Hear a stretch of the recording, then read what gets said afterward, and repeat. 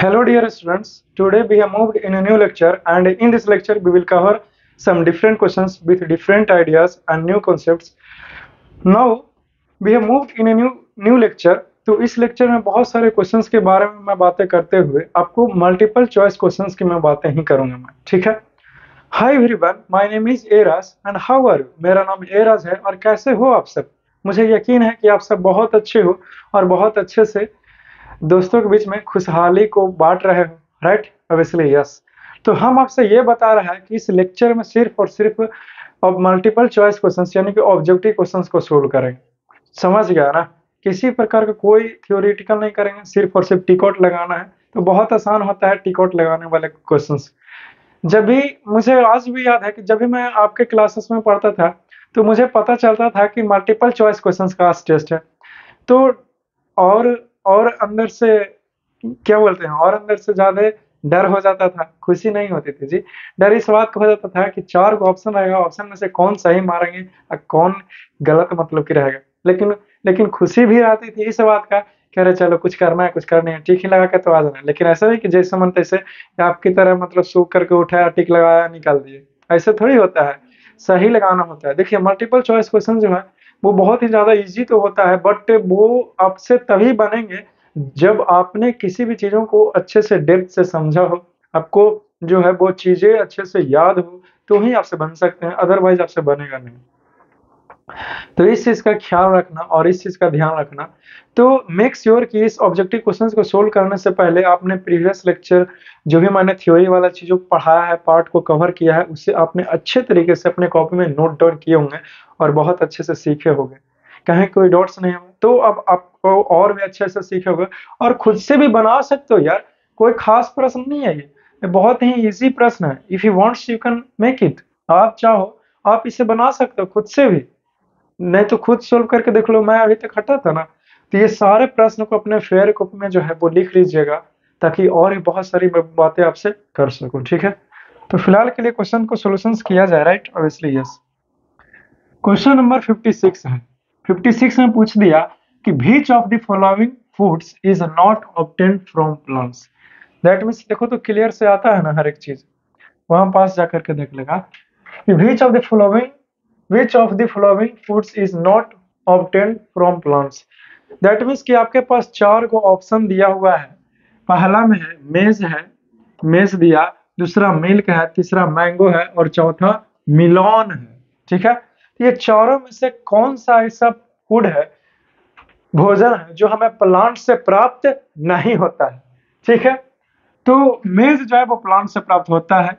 Milk दूध दूध हमें प्लांट से प्राप्त नहीं होता, यानी कि ये जानवर से प्राप्त होता है। तो यही हमारा करेक्ट आंसर हो गया। ठीक है?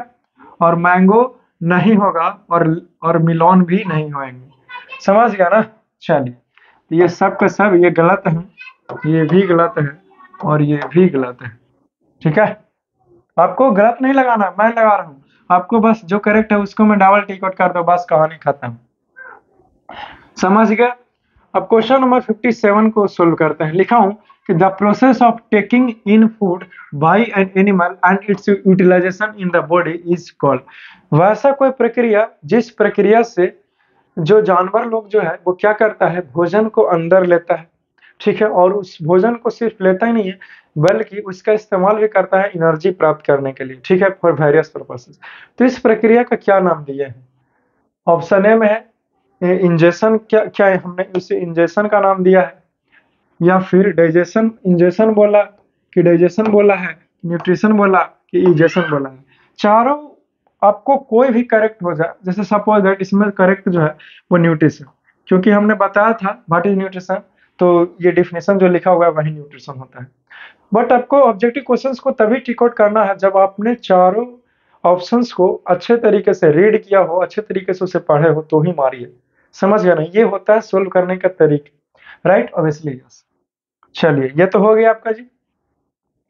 अब देखते हैं क्वेश्चन नंबर फिफ्टी सिक्स को एट को सोल्व करते हैं। लिखा हूँ, यहाँ पे लिखा हुआ है कि which one of the following does not suck nectar from flowers यानी कि निम्नलिखित में से ऐसा कौन है जो नेक्टार को नहीं खाता है या फिर नेक्टार को को नहीं सक करेगा, नहीं चूसता है फ्लावर्स तो बटरफ्लाई बटरफ्लाई करता है। ये तो करता है। बीस ये भी करता है, ये भी नेक्टार लेता है। लिजार्ड ये ये नहीं लेता है। हाँ हमिंग बर्ड ये भी ले लेता है। लिजार्ड ही जो है, वो करेक्ट आंसर है आपका और करेक्ट ऑप्शन जो है वो लिजार्ड ठीक है? देखो, इस प्रश्नों का उत्तर जो है, वो जैसे लिखो, वैसे लिख लो और टिकॉट लगाते हुए चला जाएगा। और नहीं तो जैसे कि ये प्रश्न खत्म हुआ, यहाँ पे आ गया। यहाँ पे आंसर कर लो और आंसर कर करके लिख लो ऑप्शन नंबर सी और सी लिखने के बाद फिर लिख लो लिजार्ड ऐसे भी लिख सकते हो, नहीं तो मैं जैसे लिखा, वैसे ही लिख सकता हूँ। ज़्यादा दिमाग नहीं खर्चा करना है तो मैं जैसे लिखा, वैसे लिखिए, कोई दिक्कत नहीं होगा और आपको कोई एक्स्ट्रा मेहनत करने की ज़रूरत नहीं। इफ़ यू वांट्स तो यू कैन राइट इट आप चाहो, आप इसे लिख लो। समझ गए चलिए, अब क्वेश्चन नंबर 59 को सॉल्यूशंस करते हैं। क्वेश्चन नंबर 59 को सोल्व करने का प्रयास करते हैं राइट चलिए, इसको देखते हैं। लिखा, प्रश्न है जी, कि the aquatic animal which ingest food वैसा कोई एक्वेटिक जानवर जो फ़ूड को निगलता हो with the help of pseudopodia लेकिन कैसे वो भोजन प्राप्त करता? हो तो सुडोपोडिया की मदद से। याद कीजिए जब जब मैं आपको एमीवा के बारे में पढ़ा रहा था तब, कि एमीवा के पास क्या होता है? सुडोपोडिया नाम का चीज़ होता है। ठीक है, उसी से भोजन को वो इनगल करता है, निगलता है। तो ऑप्शन देखते हैं। क्या ईगल होगा? क्या फ़िश होगा? क्या एक्वेटिक स्नेक यानी कि पानी वाला साफ़ होगा? कि एमीवा होगी। तो करेक्ट ऑप्शन क्या है? एमीवा यानी कि एमीवा होगा। समझ गया एमीवा के बारे में मैंने ऑलरेडी आपको पढ़ाया हुआ है। ठीक है ना? चलिए क्वेश्चन नंबर सिक्सटी को समझते हैं। लिखा हुआ हूँ कि which of the following is digested by saliva that means कि सलाइवा के द्वारा कौन सा निम्नलिखित में से जो चीज़ है, वो सलाइवा डाइजेस्ट कर सकता है? किस चीज़ को डाइजेस्ट कर सकता है? क्या? ग्लूकोज को डाइजेस्ट कर सकता है? ऑप्शन बी में। क्या स्टार्च को डाइजेस्ट कर सकता है? ऑप्शन सी में क्या सेलुलोज को डाइजेस्ट कर सकता है? या फिर ऑप्शन डी क्या सुक्रोज को डाइजेस्ट कर सकता है? तो करेक्ट ऑप्शन क्या है इसमें से? स्टार्च यानी कि वो स्टार्च को जो है वो डाइजेस्ट करता है कौन? तो सैलिवा ठीक है? समझ गया ना? चलिए वेरी गुड वेरी नाइस क्योंकि सैलिवा जो है वो स्टार्च को शुगर में कन्वर्ट कर देता है हमारे माउथ में ही, मुँह में ही। समझ गया? चलिए वेरी गुड वेरी नाइस और 61 का सॉल्यूशंस करने का प्रयास करते हैं। क्वेश्चन नंबर 61 है जी, कि म्यूकस हाइड्रोक्लोरिक एसिड और digestive juices are secreted by the inner lining of देखो प्रीवियस लेक्चर में मैंने बताया था कि जो प्रश्न है वो यहाँ से पूछ सकता है। मैंने बताया था ना कि तीन गो ऐसा चीज़ है जो सीक्रेट होता है इनर लाइनिंग ऑफ़ कहाँ से? तो स्टमक से, पेट से होते हैं। तो पूछ दिया कि ये तीनों जो है वो कहाँ से होता है और बीच ऑफ़ द देखो, आज दे ही दिया। है कि नहीं? कोई दिक्कत नहीं। तो म्यूकस हाइड्रोक्लोरिक एसिड और इसके साथ ही साथ डाइजेस्टिव जूसेस जो है, वो कहाँ से सीक्रेट होता है? इनर लाइनिंग ऑफ़ किसके इनर लाइनिंग से? क्या स्मॉल इंटेस्टाइन के इनर लाइनिंग से? क्या लार्ज इंटेस्टाइन के इनर लाइनिंग से? या फिर स्टमक के इनर लाइनिंग से सीक्रेट होता है? कहाँ से होता है? वहीं लिखना। वही ऑप्शन में क्या पैंक्रियास सीक्रेट करता है या फिर स्टमक सीक्रेट करते हैं? क्या स्मॉल इंटेस्टाइन करते हैं? कि सेलिवरी ग्लैंड सीक्रेट करता है। ये कौन करता है? ये चारों में से। कोई एक ही ऑप्शन जो है वो करेक्ट होएँगे। ठीक है ना? तो आंसर में है स्टमक ठीक है? तो स्टमक जो है वो करेक्ट आंसर है तो आप स्टमक को ही टिक आउट कर लीजिए। ठीक है?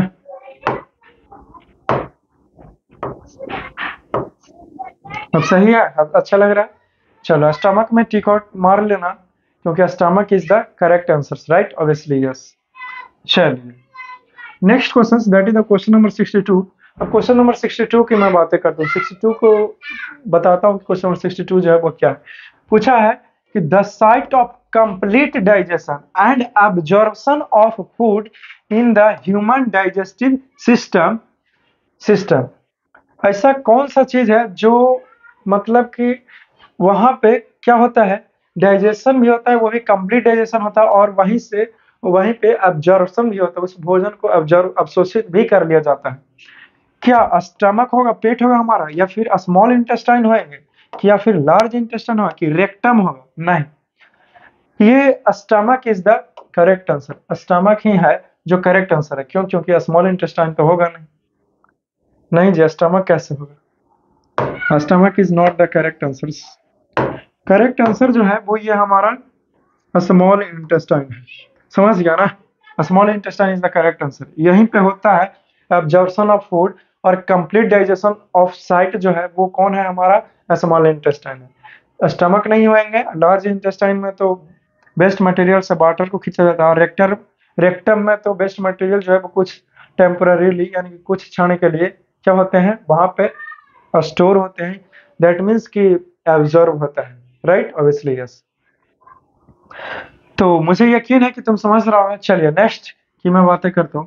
क्वेश्चन नंबर सिक्सटी थ्री ठीक है तो इसे समझेगा। लिखा हूँ द मिलियंस ऑफ़ टाइनी या फिर teeny outgrowths on the inner surface of a small intestine are called यानी कि मिलियंस ऑफ़ छोटे छोटे लाखों में संख्या है, एक फिंगर लाइक के संरचना है टीनी आउट ग्रोथ हो गया है उसके inner lining of small intestine को। उसका क्या नाम देते हैं? तो विली का नाम देते हैं। ये सब प्रश्न क्या कैपिलरीज होगा पढ़ लेते हैं एक बार ऑप्शन क्या बर्ड्स होंगे या फिर विली होगा कि वेंस होंगे तो नहीं करेक्ट आंसर जो है, वो विली है। समझ गया ना? तो आई होप कि तुम समझ पा रहा होगा इन्हीं सारी चीज़ों के बारे में, बहुत सारी बातें करते हुए, ठीक है? कहीं पे कोई दिक्कत है जी? इतने सारे प्रश्नों को मैंने डील किया है आपके लिए तो आप, मुझे यकीन है कि आप इस, इन सभी प्रश्नों को समझे होंगे, बहुत अच्छे से सीखने का प्रयास किया होगा राइट ऑब्वियसली यस तो मैं और भी बहुत सारी बातें मैं करता हूँ आपसे, ठीक है ना? तो इसे ध्यान से देखो और ध्यान से समझने का प्रयास करो राइट ऑब्वियसली यस चलो, इसे लिख लीजिए ताकि कुछ और भी मैं बातें कर सकता हूँ। चलो, इसे नोट करो। ठीक है ना? इसे इसे नोट कर लीजिए, ठीक है? चलो नोट कर लीजिए कर कर लेना। नोट कर लिया होगा। अब आगे बढ़ते हैं। नेक्स्ट पेज में बढ़ता हूँ। चलिए ठीक है। Now I am moving to the next जाओ जाकर के मना करो उस सबको। वो गलती कर रहा है। देखो क्वेश्चन नंबर सिक्सटी फोर है, ठीक है? तो क्वेश्चन नंबर सिक्सटी फोर को समझने का प्रयास करते हैं। अगर कहीं कहीं पे आपको दिखाई ना दे, या फिर कम दिखाई दे तो आप क्या कीजिए? आप एक बार अपना मोबाइल का क्वालिटी को बढ़ा लेगा। वीडियो प्ले करने के लिए नहीं। बल्कि एक बार देखने के लिए तभी तो आपको दिखेंगे अच्छे से, है कि नहीं? कि कहाँ पे क्या चीज़ लिखा गया है। तो क्वालिटी वीडियोस को बढ़ा लिया कीजिए, है कि नहीं? ताकि आप सही से लिख पाओ। और मैं भी यहाँ पे रीड कर रहा हूँ, कहीं पे देखने में कोई प्रॉब्लम है तो मैं रीड करता हूँ, आप इसे देखिए। लिखा हूँ कि the length of a small intestine in adult man इधर क्यों उठ जाता है? The length of a small intestine in adult human beings is about human being में, मान, हम लोग जैसे कि मानव में स्मॉल इंटेस्टाइन का लेंथ लंबाई कितना होता है? ये बताना क्या 1.5 मीटर होता है? ऑप्शन बी में, क्या 2.5 मीटर होगा? ऑप्शन सी में, क्या 7.5 मीटर होंगे? ऑप्शन डी में, क्या 4.5 मीटर होगा? कौन सा ऑप्शन करेक्ट है? तो करेक्ट आंसर जो है that is the 7.5 metre right 7.5 metre ही है, जो करेक्ट आंसर है। तो आप लोग टिकट कर लीजिए। सेवन ऑप्शन सी है, जो करेक्ट है 7.5 मीटर मैं बार बार रिपीट इसलिए कर रहा हूँ, ताकि अगर आपको नहीं दिख रहा होगा तो आप अच्छे तरीके से मैं बोल रहा हूँ तो उसके सहायता से तो लिख ही सकते हो राइट ऑब्वियसली यस चलिए क्वेश्चन नंबर 65 है जी। 65 को अब सोल्व करने का प्रयास करते हैं राइट चलिए क्वेश्चन नंबर 65 है जी। The amino acids present in digested food जो अमाइनो एसिड प्रेजेंट होता है, कहाँ? तो हमारे भोजन में डाइजेस्टेड फ़ूड में इन आवर बॉडी और यूज़ टू मेक यानी कि अमाइनो एसिड का इस्तेमाल जो है, वो किस चीज़ के लिए होता है? क्या बनाया बनाया जाएगा? क्या बनेगा अमाइनो एसिड से? ऑप्शन ए में, क्या उससे फैट बनेगा? ऑप्शन डी में ऑप्शन बी में, क्या प्रोटीन्स बनाए जाएँगे? या फिर मिनरल्स बनाया जाएगा? या फिर कार्बोहाइड्रेट बनाया जाएगा? क्या आखिरकार बनेगा उस अमाइनो एसिड का इस्तेमाल करके? तो करेक्ट आंसर जो है, वो प्रोटीन्स यानी कि प्रोटीन्स है जो बनाया जाता है, या फिर प्रोटीन्स जो है वो बनता है किस चीज़ से? तो अमाइनो एसिड का इस्तेमाल करके। समझ गया? चलिए, अच्छी बात है। अब नेक्स्ट नेक्स्ट क्वेश्चन अब अब अब नेक्स्ट क्वेश्चन वहाँ से लाइट क्या बोलते हैं? लाइट वहाँ से कटा हुआ है इलेक्ट्रिक करंट ऊपर है? ओके चलो ठीक है। तो डियर मेरी बातों को सुनिए तो हम बता रहा हूँ।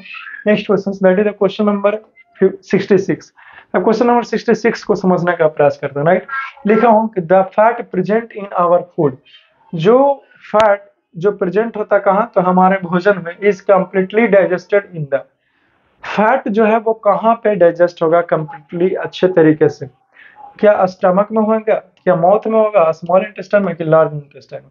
तो इसका आंसर बड़े सिंपल है स्मॉल इंटेस्टाइन फैट जो है वो बदल जाता है फैटी एसिड एंड ग्लिसरॉल में। समझ गया completely digested in the small intestine चलिए, ठीक है? अब क्वेश्चन नंबर 67 है जी। क्वेश्चन नंबर 67 को सोल्व करते हैं।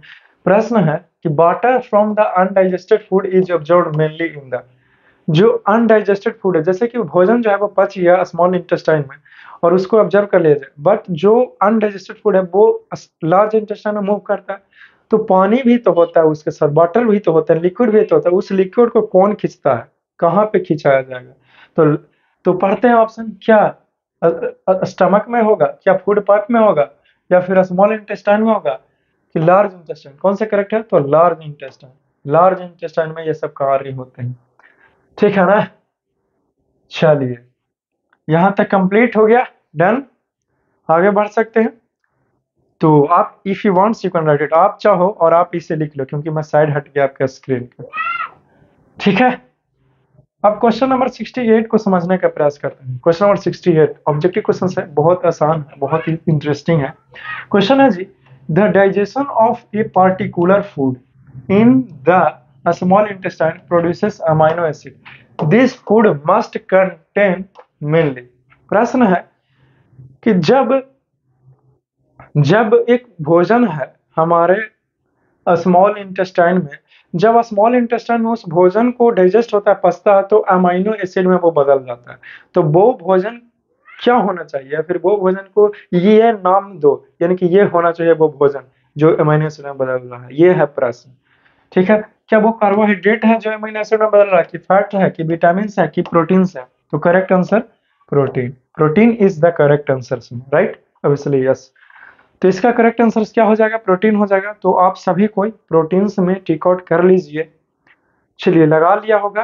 कोई दिक्कत हो रहा है तो बोलिएगा। नहीं हो रहा होगा? चलो। नहीं है तो फिर आगे बढ़ सकता हूँ मैं। क्वेश्चन नंबर सिक्सटी नाइन अब क्वेश्चन नंबर सिक्सटी नाइन को सोल्व करने का प्रयास करते हैं राइट सिक्सटी नाइन है कि द डाइजेशन ऑफ़ ऑयल, जब ऑयल जो है वो डाइजेस्ट हो जाएगा, पच जाएगा, ऑयल इन फ़ूड प्रोड्यूसेस और भोजन में जो digestion of groundnut oil present in food produces. Groundnut oil का इस्तेमाल आपने किया है, भोजन में जो प्रेजेंट है तो वो डाइजेस्ट होगा तो क्या मिलेगा? क्या चीज़ में बदल जाएगा? क्या प्रोड्यूस करेगा? अमाइनो एसिड प्रोड्यूस करेगा? यहाँ पे ए में दिया हुआ अमाइनो एसिड बी में ग्लिसरॉल दिया हुआ सी में अल्कोहल डी में फैटी एसिड अल्कोहल कहाँ से दे दिया? है एनी हाउ और ये ऑप्शन रहा ऑप्शन ए बी सी और ऑप्शन डी ये ऑप्शन है जो टिक आउट करना। है ऑप्शन ए में है ए एंड बी यानी कि अमाइनो एसिड और ग्लिसरॉल में बदल जाएगा ग्राउंड नट जब ये डेस्ट हुआ था। क्या ये ऑप्शन करेक्ट है? ए ऑप्शन बी में बताया गया बी और सी यानी कि ग्लिसरॉल एंड अल्कोहल क्या इसमें बदलेगा ऑप्शन सी में है सी एंड डी यानी कि अल्कोहल एंड फैटी एसिड क्या इसमें बदलेंगे या फिर ऑप्शन नंबर डी करेक्ट है, जो बताया गया है B and D that means की ग्लिसरॉल एंड फैटी एसिड तो करेक्ट आंसर क्या है? तो डी यानी कि glycerol and fatty acid groundnut oil के पास क्या है? जी तो फैट्स हैं तो फैट्स बदल जाएँगे फैटी एसिड एंड ग्लिसरॉल में, समझ गए? ऑब्वियसली यस तो आई होप कि तुमने इसको सीखा होगा। जितना भी चीज़ों को मैं डील कर रहा हूँ आप बहुत अच्छे से समझ रहे हो और बहुत अच्छे से चीज़ों को सीखने का प्रयास कर रहे हो। राइट यस चलिए क्वेश्चन नंबर सेवेंटी की मैं बातें करूँ लिखा हूँ कि सम क्रस्ड बॉइल्ड राइस ठीक है? जैसे में वाटर हो गया सलाइवा हो गया is burned in a test for 15 to 20 minutes ठीक है भाई? कुछ टुकड़ा जैसे चावल, पानी और सलाइवा को मिक्स करके इसको गर्म कर रहे हैं। कितने देर के लिए? तो 15 से 20 मिनट के लिए गर्म कर रहा हूँ। समझ गया ना? एंड और, फिर क्या किए? टू और थ्री ड्रॉप्स यानी कि दो, तीन बूंद dilute iodine solution are added to it dilute दो, तीन बूंद डाइल्यूट आयोडीन सॉल्यूशंस को ऐड कर दिए उसके बाद बर्न होने के बाद। The colour produces will be तब इस मिक्सर का कलर जो है वो क्या हो जाएगा? क्या वायलट हो जाएगा? क्या ग्रीन हो जाएँगे? क्या ब्लू ब्लैक हो जाएगा? क्या कि नन ऑफ़ दिस होगा? बोलेगा कमेंट ज़रूर करना क्या, कौन सा कलर में तब्दील होगा। राइट तो चार सेक्शन में लिख दिए, कौन सा? ये ब्लू ब्लैक अरे नहीं जी, अभी डिलीट करके हटाओ हटाओ हटाओ हटाओ ब्लू ब्लैक कैसे कर दिया आपने? कोई लड़का अगर देख रहा होगा तो सलाइवा जैसी देख लो सलाइवा का मिक्सचर है। आयोडीन डाइल्यूट डाल दिया है तो ब्लू ब्लैक में बदल जाए अरे भैया, कैसे आपने बोल दिया? बोलो। मिक्सचर है। आपने क्या देखा यहाँ पे? सलाइवा को अगर देखता ध्यान से तो ये ब्लू ब्लैक नहीं करता। देख रहे हो राइस है, चावल है तो चावल में फैट्स होते हैं स्टार्च होता है तो स्टार्च पर ये ब्लू ब्लैक सोल्यूशन डालेंगे तो वो बदल जाएगा किस चीज़ में? तो सॉरी स्टार्च के ऊपर आपने आयोडीन सोल्यूशन दो तीन बूंद ड्रॉप कीजिएगा, गिरा दीजिएगा तो वो बदल जाएगा किस चीज़ में? तो ब्लू ब्लैक कलर में हो जाएगा ये लड़का सोच रहा है। लेकिन आप शायद भूल रहे हैं कि क्या है यहाँ पे? सलाइवा है। तो सलाइवा क्या करेगा? इसी इसी स्टार्च को तो शुगर में कन्वर्ट करने का प्रयास करता है और कन्वर्ट कर देता है। तो जब स्टार्च बचा ही नहीं तो ब्लू ब्लैक कलर कैसे हो जाएगा? नहीं होगा इसका मतलब। तो ठीक है ना? तो करेक्ट आंसर जो है, वो क्या हो जाएँगे? तो किसी चीज़ में नहीं बदलेगा यानी कि none of this that means कि इनमें से कोई नहीं। ये आंसर जो है, वो करेक्ट है राइट ऑब्वियसली यस तो if you wants you can write it आप चाहो तो आप इसे लिख लो। चलिए, एक और क्वेश्चन है। That is the question number 61 अब क्वेश्चन नंबर 61 की मैं बातें करता हूँ राइट क्वेश्चन नंबर 61 है जी। The teeth in our mouth हमारे मुँह में जो दांत है which are for piercing and tearing the food are called ऐसा दांत हमारे माउथ में है, जिसका इस्तेमाल करते हैं। पियर्सिंग एंड टीयरिंग मतलब चीरने और फाड़ने के लिए। तो कौन सा दांत है? तो ये वाला दांत, यानी कि कैनाइन अब देखते हैं ऑप्शन में क्या है। इंसीजर है वो। क्या चीरने फाड़ने के लिए कैनान्स का इस्तेमाल करते हैं कि मोलर का इस्तेमाल करते हैं कि प्री मोलर तो करेक्ट आंसर आपको पता है, वो है कैनाइन ठीक है ना? तो कैनाइन इज़ और canines are the correct answers because we used canines in order to pierce or or tears the food, right? यानी कि चीरने फाड़ने के लिए। पियरिंग एंड टीयरिंग का मतलब हुआ piercing and tearing piercing and tearing का मतलब हुआ चीरना और फाड़ना। तो इसके लिए इस्तेमाल करते हैं कैनाइंस का। चलो भाई, यहाँ तक लिख लो अच्छे तरीके से, ताकि और भी ऑब्जेक्टिव क्वेश्चंस को सोल्व कर सके। हाँ सर अभी और ऑब्जेक्टिव क्वेश्चंस है। ठीक है ना? कुछ है और बचा हुआ है। अब तो अंतिम में पहुँच गए हैं। ठीक है थोड़ा सा और है। तो उससे भी देख लो। उबना नहीं मेक पेशेंस अपना पेशेंस अपना धैर्य को बनाए हुए रखिए। ठीक है ना? चलिए। अब देखते हैं that is the question number 72 अब बहत्तरवा क्वेश्चन को सोल्व करते हैं। लिखा हो कि which of the following are for biting and cutting the food इनके निम्नलिखित में से कौन सा ऐसा टीथ है, कौन सा ऐसा दांत है, जिसका इस्तेमाल करते हैं किस लिए? तो बाइट करने के लिए, उसको काटने के लिए, ठीक है? तो कौन सा ऑप्शन करेक्ट है? क्या वो प्री मोलर है? क्या वो कैनाइंस है? कि मोलर है? कि इंसीजर है? बोलो। काटने के लिए सिर्फ़ इस्तेमाल करें तो incisor option number D incisor is the correct answer right obviously yes question number 73 है जी कि इन ह्यूमन बींग्स हम मानवों में the 16 teeth of each jaw consist of प्रत्येक जा में, नीचे वाला में भी और ऊपर वाला में भी क्या है?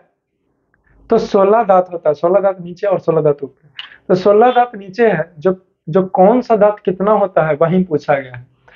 प्रत्येक जो 16 दांत है, उसमें से क्या दो ऑप्शन ए में क्या दो इंसिजर चार कैनाइन होते हैं, चार प्रीमोलर और छह मोलर होते हैं? कौन सा करेक्ट है? या फिर चार इंसिजर होगा, दो ही कैनाइन होगा, छह ही प्री मोलर होंगे और चार ही मोलर होंगे? कौन सा करेक्ट है? या फिर चार इंसीजर होगा, केवल और केवल दो ही कैनाइंस होंगे और चार प्री मोलर्स या फिर पूरे के पूरे ये छह मोलर होंगे?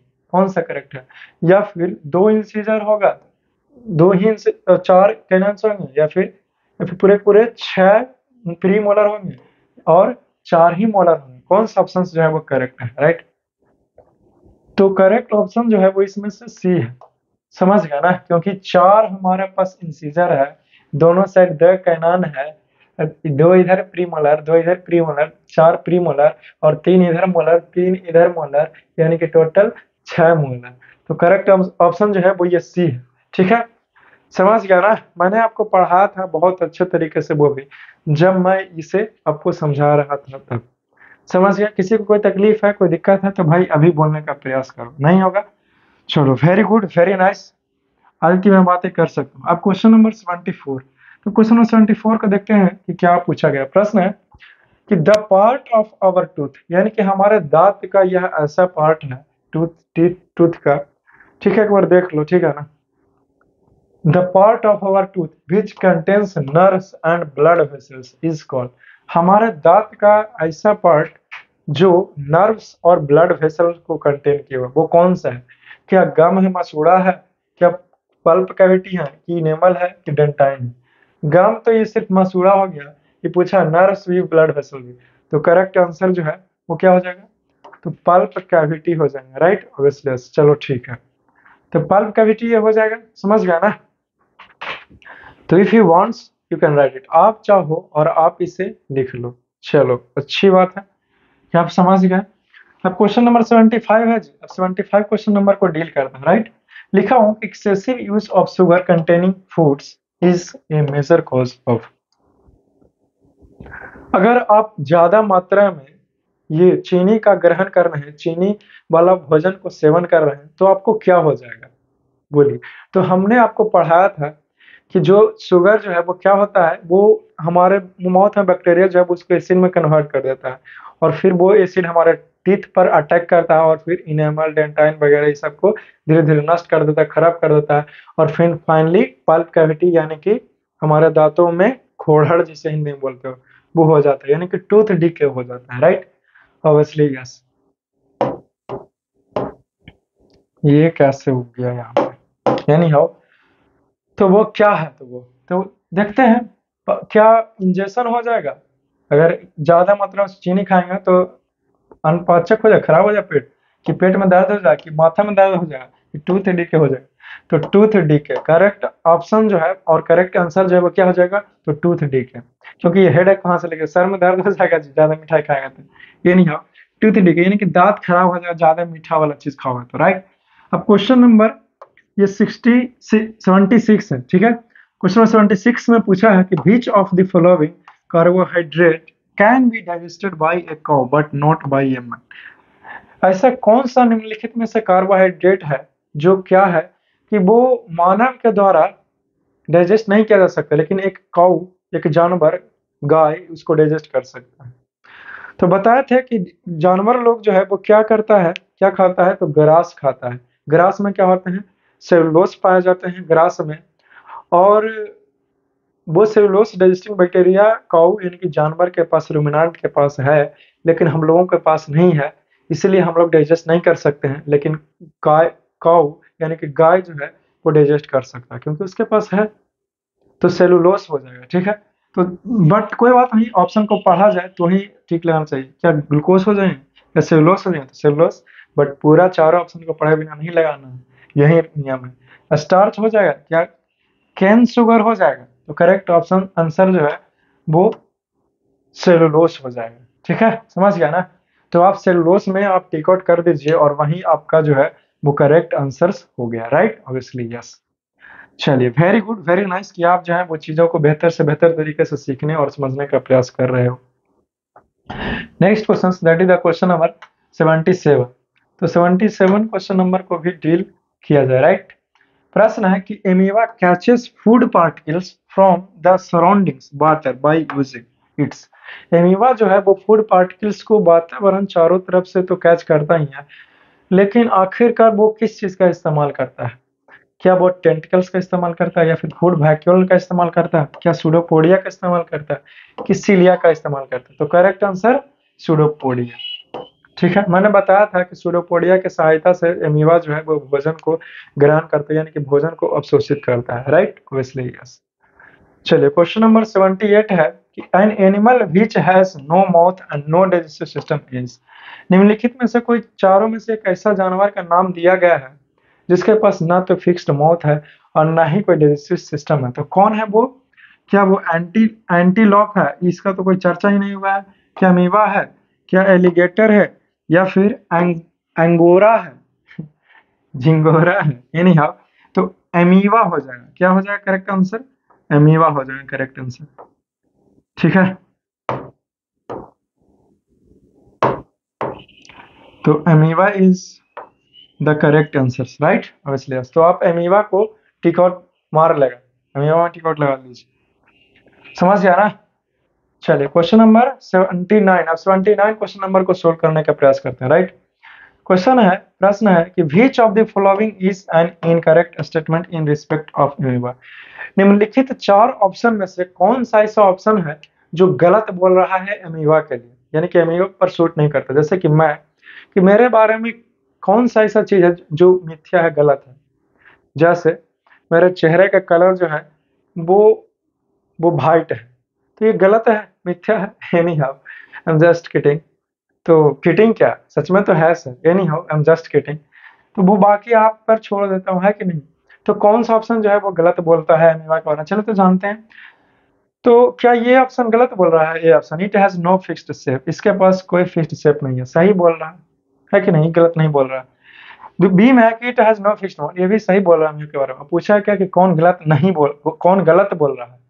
उसी को टिक लगाएँगे। इट हैज़ फॉल्स फिट इसके पास फॉल्स फिट होता है। इट हैज़ डाइजेस्टिव सिस्टम ये गलत बोलता है। अमीबा के पास कोई डाइजेस्टिव सिस्टम नहीं हुआ लेकिन ये कह रहा है कि है तो, तो यही ना करेक्ट होगा ऑप्शन है कि नहीं? राइट ऑब्वियसली यस चलिए।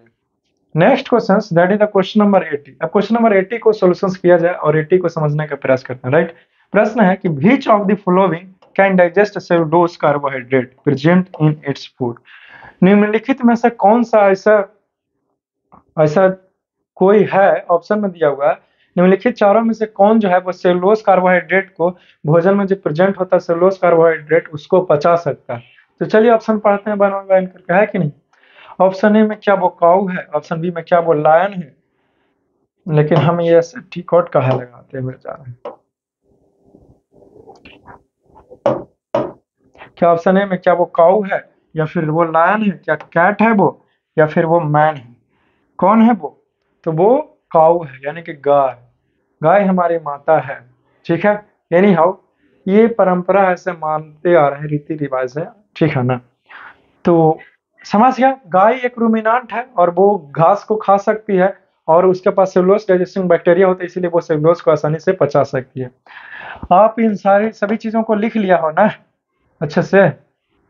चलिए, मुझे यकीन है कि आप सभी चीज़ों को अच्छे से और बेहतर से बेहतर तरीके से आपने लिखने का प्रयास किया होगा राइट तो ठीक है डियर इस लेक्चर में मैं आपको क्या करता हूँ मैं यहीं तक लगे आपको इस लेक्चर को स्थगित करता हूँ और बहुत सारी बातें करूँगा मैं बट कुछ नेक्स्ट लेक्चर में करूँगा वो भी कुछ नया अंदाज में करूँगा। तब तक के लिए मैं चाहता हूँ कि आप बस ऐसे ही हँसते हुए रहिए, मुस्कुराते हुए रहिए और प्यार, मोहब्बत और नफरत भी साथ में एक साथ करते हुए रहिए, है कि नहीं? तो see you soon in the next lecture and for that one you should must met so love you all see you soon and check care तो और भी मैं बातें ये कर रहा हूँ। ठीक है।